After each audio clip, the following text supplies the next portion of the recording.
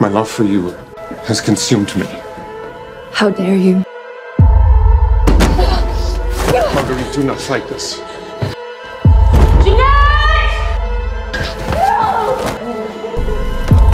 But my love, I beseech you, tell no one. For your own safety.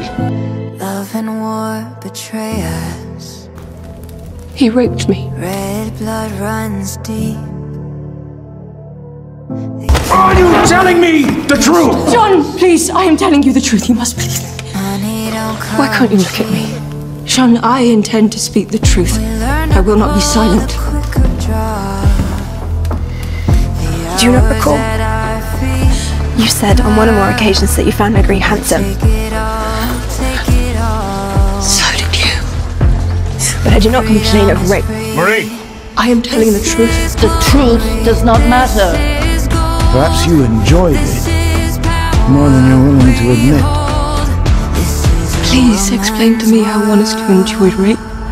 I experience no pleasure. God will not punish those who tell the truth. My fate and our child's fate will be written not by God's will, by which old man will tire first. Confess! There was no rape. I am innocent of the crime!